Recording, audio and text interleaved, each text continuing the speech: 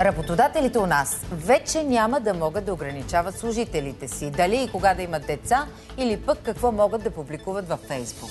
Европейският съюз ще забрани това с нов закон. Какво още? Посвети у нас започва.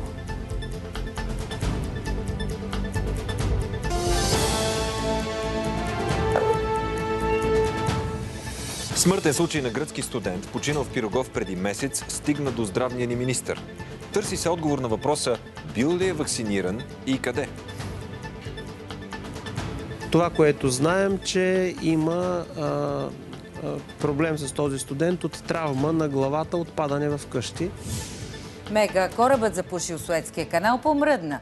Компанията собственик обещава възстановяване на трафика до 24 часа. 200 кораба чакат. Неочаквани рецидиви от COVID-пандемията, бум на кражбите на елитни френски вина. За новата мода сред френските кръци, след малко в емисията. Внимание! Тази нощ ще спим с един час по-малко. В 3 сутринта местим стрелките на часовника напред.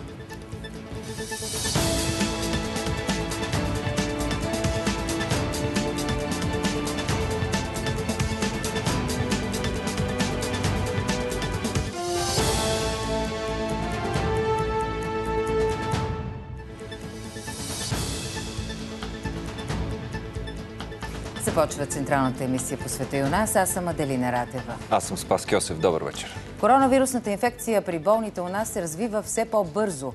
Сочат данните от последните дни. Затова предупреди здравният министър и препоръча хората да търсят помощ възможно най-скоро. Министрът обеща скорошно решение и на един актуален финансов проблем в болниците. Сега здравната каса не признава разходите, направени по лечението на пациенти, които са прияти само с антигенен тест. И това натоварва бюджетите им. И още един акцент.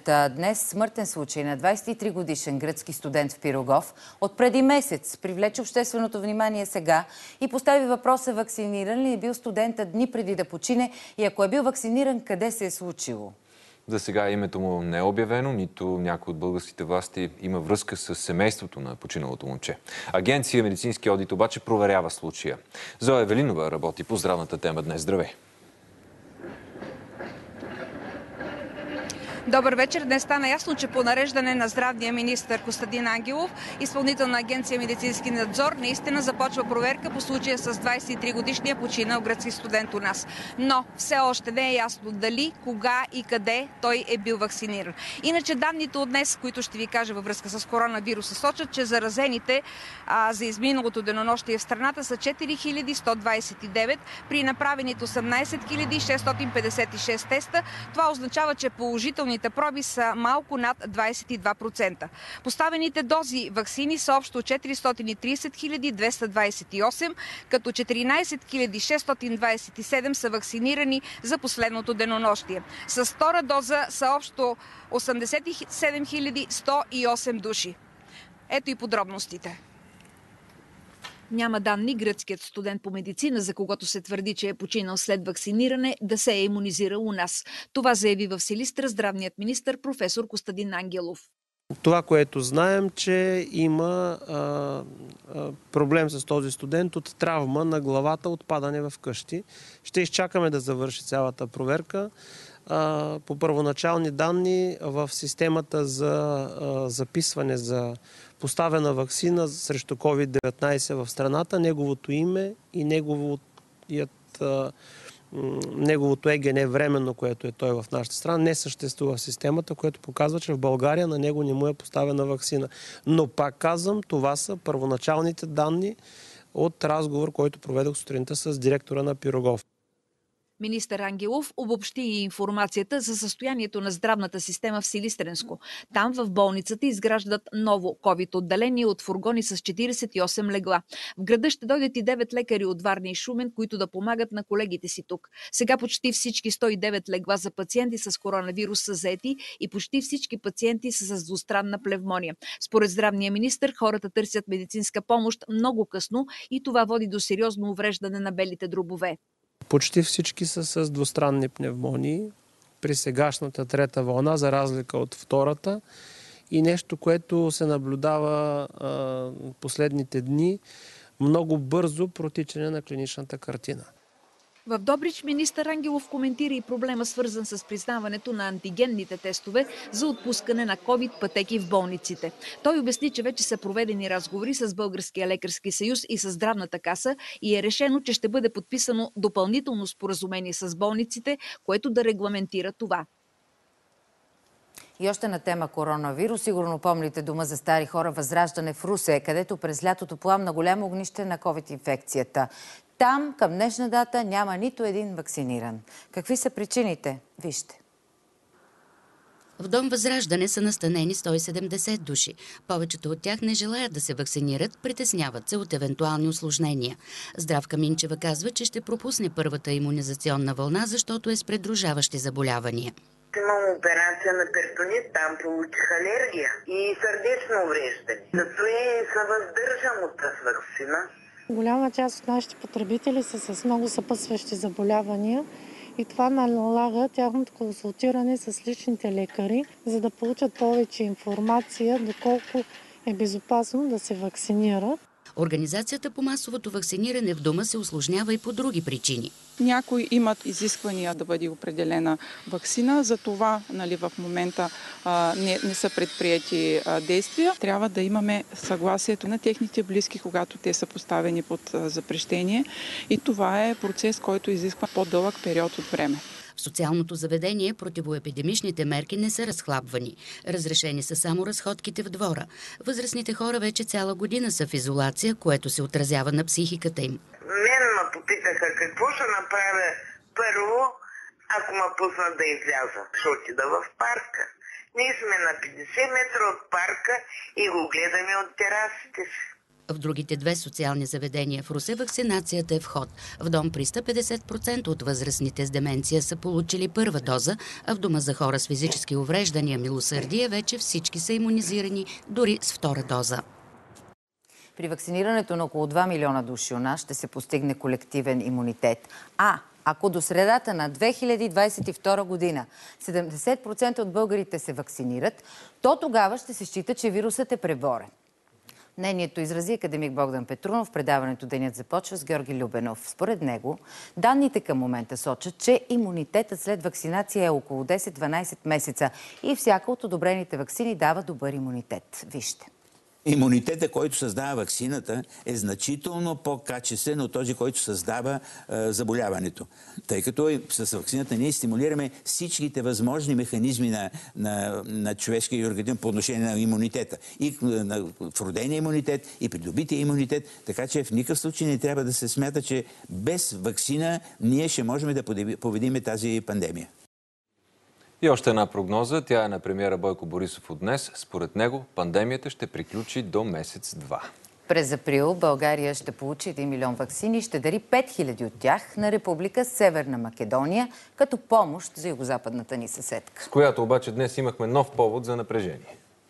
Българин с дарения от 920 книги за Българския културно-информационен център в югозападната ни съседка не беше допуснат да премине границата от македонските власти и беше върнат. Ето и българската реакция. По разпореждане на външния ни министр Катерина Захариева, консул от посолството ни се опита да убеди властите да пропуснат дарението, но в крайна сметка безуспешно. За това поредно обтягане на двустранните отношения. Александър Марков сега е на пряката ни линия. А, Сашо, здравей! Какъв е мотивът това дарение да не бъде прието, да бъде върнато още на границата? Добър вечер, българи на Виктор Стоянов, който искаше да направи дарение от 920 фототипни издания на български народни песни на братия Миладинови. В крайна сметка, както и вие казахте, не беше допуснат да влезе в Република Северна Македония. Властите там са поискали книгите да преминат митническа проверка, а след това Стоянов да получи разрешение от външното и културното министерство в Скопие. Случай има и своите странности, трябва да кажем. Така, например, от културно-информационен център в Скопие заявиха, че не са били уведомени за намеренията на господин Стоянов и че си има специална процедура за дарение. Така Иначе посолство ни в Скопие е изпратило протестна нота до външното министерство на югозападната ни съседка, искайки обяснение защо се е наложил да се показва разрешение за внос на литература от страна член на Европейския съюз, процедура, която никъде не е регламентирана. Още повече, че това се случва в страна, която иска да стане член на Европейския съюз. А във външното ни министерство ще бъде извикан временно управляващия посолството на Скопие у нас да даде обяснение. Айде да даде обяснение дали правителството в югозападната ни съседка стои зад очерняща и клеветническа кампания срещу България, авторството на която е на специален институт, базиран в Словения и който е финансиран от правителството на Зоран Заев. Още за тези два случая вижте в репортажа, който подготвихме с Деси Малинова и Иван Терзиев. По-добросъседски Виктор Стоянов решава да дари 920 книги с български народни песни на братя Миладинови на културния ни център в Скопие. Ние същата книга искаме да я внесем до хората, защото интереса към български книги в Македония е огромен, в Северна Македония. Граничните власти на Скопие обаче спират Виктор. Първо разпореждат книгите да минат митническа проверка, а в последствие настояват Виктор да вземе разрешение от Външното и културното министерство в Скопие. Всички разпореждания са устни. Оказа се лъжа. Няма. Всичко беше устно. Значи 6 часа ние стоим на границата и чакаме. Идват при нас различни митничари и полицаи от Република Северна Македония и ни подлъгват. След малко а, ще се разберем, договорено е и проче волеизявления. От културния ни център в Скопие заявиха, че нямат договор за дарение с Виктор. Спирането на книги на границата обаче споделят е спомен от една друга епоха. Договор между мен и господин Стоянов писмен не, няма сключен. Такива дарения не е имало на книги, но по принцип, когато примерно състави минават или нещо, винаги има едно писмо, което е съпровождащо примерно за инструменти или за нещо такова. За да изясни случая, на границата пристига консула ни от Скопие по разпореждане на външния министър Екатерина Захариева. Но часове по-късно Виктор не беше допуснат. Разказва, че с приятели редовно изпращат книги по почтата в Скопие. Ние сме стигнали до там, че отделни лица, граждани, които пътуват до Република Северна Македония, да внасят по 2, по 5, по 10 книги в колите си. Кажете ми, вие, държава, кандидат членка за Европейския съюз, до там ли трябва да се стига, че ние като партизани да внасяме книги по колите си? Преди Виктор да отпътува с книгите обратно от Гюешево към София, Външното ни министерство извика временно управляващия посолството на Република Северна Македония у нас, за да даде обяснение по случая. Също и да обясни стои ли съседката ни зад клеветническата кампания срещу нас под авторството на така наречения Международен институт за близкоисточни и балкански изследвания, базиран в Словения. От Министерството на външните работи обявиха още, че цитирам с скандалния акт на властите на Република Северна Македония ще бъдат запознати посолствата на страните членки на Европейския съюз, Скопия и Европейската комисия. Александър Марков за днешните искри между София и Скопия. А сега към предстоящите избори у нас изтича срокът за подаване на заявление за мобилна секция за гласуване, ако сте под карантина в деня на изборите. Остават 4 дни до 31 март. До сега в София са поискани 82 такива мобилни урни. Столичната община предоставя в портала си няколко варианта за подаване на заявление. Саморъчно написано чрез упълномощено лице с пълномощно, но без нотариална заверка, изпратено по почтата и по електронен път на електронната поща. Въпроси могат да бъдат задавани на безплатния телефон. Общината е осигурила по-малки кутии за подвижни урни за улеснение на членовете на комисиите. Осигурени са и защитни костюми и транспорт. Предвид многото карантинирани, вероятно ще се наложи да има и много подвижни секции. Има голяма вероятност тези подвижни секции да бъдат много за територията на столична община. По данни, които имаме от столична регионална здравна инспекция за хората поставени под карантина, ако приемем, че около 20 до 30% ще гласуват, ще заявят това желание, означава, че тези секции може би ще надвишат и над 200. Премьерът Бойко Борисов заяви, че България вече е газоразпределителен център с 100% държавна инфраструктура. Премьерът посещи газохранилището Чирен и компресорна станция Лозенец. Два ключови проекта за енергийната независимост на България провери днес премьера Бойко Борисов. С разширението на газохранилището в Чирен, то ще може да съхранява 1 милиард кубични метра газ. Това е интерконектора с Гърция. Като дойде танкера, дали американски втечнен газ, кипърски, турски, гръцки, е, египетски, израелски, няма значение. Идва танкер, който акустира и трябва да източи тази газ и тя трябва да бъде съхранена някъде. Освен да съхранява, България ще транзитира газ от всички посоки към всички посоки, включително и по Балкански поток. Капацитета на тези съоръжения е 60-70 години.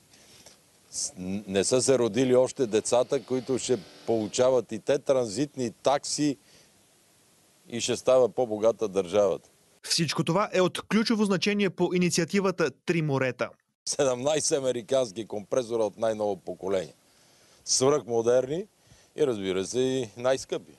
Също другата седмица ще бъдат открити 6 км от 16,5 км участък в ремонт от автомагистрала Тракия.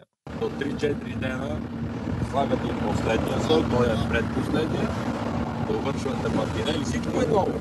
Мартинели, мрежи, канавки, основа, всичко е ново. Останалите 10 км, които се рехабилитират, ще са готови след средата на април. Новини около най-голямото морско задръстване. След пет дни заседналият Суетския канал контейнеровоз помръдна.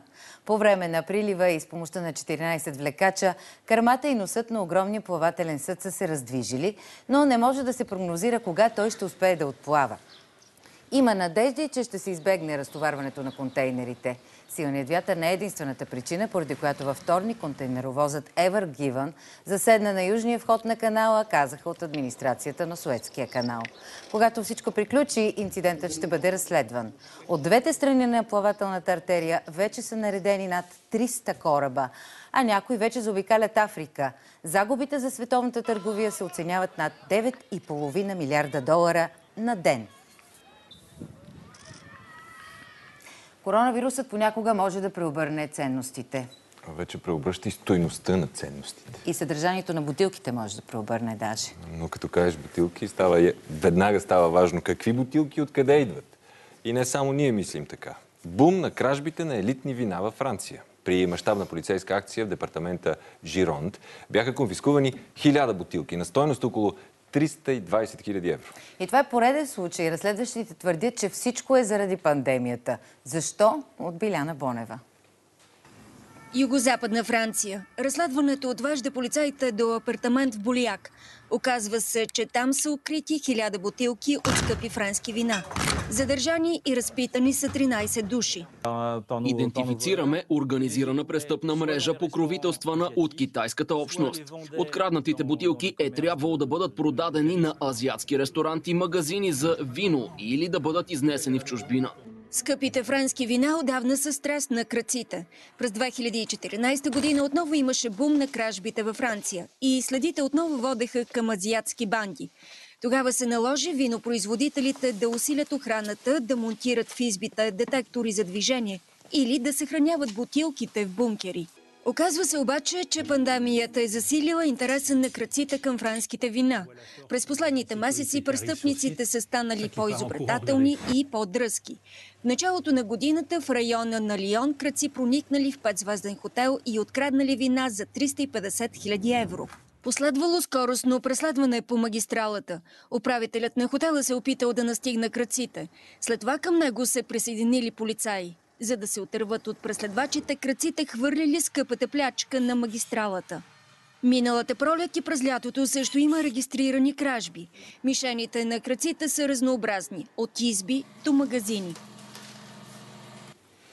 А у нас, наред с затворените бизнеси, расте и кризата в туристическия бранш. До момента, по данни на Министерството на туризма, 396 туроператора са получили общо 24 милиона лева държавна помощ, с които приоритетно да възстановят суми на пътници с анулирани пакети поради COVID-19, това за изминалата година. Достатъчна ли е тази помощ и по-важното, какво се случва с клиентите, които искат, но не получават парите си от туристическите агенции? Ирина Цонева провери закъсняла и недостатъчно, особено за големите агенции с голям брой клиенти. Така повечето туроператори определят отпуснатата до момента държавна помощ за бранша. Размерът на предоставените безвъзмезни средства е ограничен до 4% от оборота през 2019 и по този начин големите туристически компании не успяват да върнат парите на клиентите си. Освен това, постановлението за тези средства въжи само за анулираните през 2020 година пътувания, но не и за тази. Вие на колко хора дължите пари? А, значи фирмата, която аз управлявам, дължи на около 6000 човека пари, като ние вече започнахме да възстановяваме, вече две седмици възстановяваме.